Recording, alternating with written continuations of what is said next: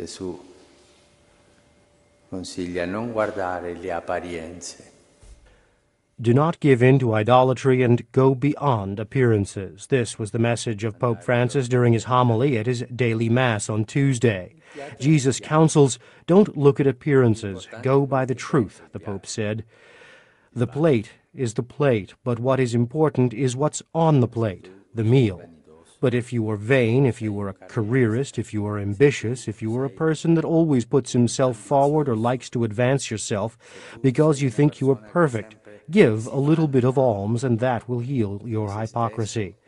Pope Francis said, This is the way of the Lord. It is to worship God, to love God above all things, and to love your neighbor. It's so simple, but so difficult. This can only be done with grace. Let us ask for this grace.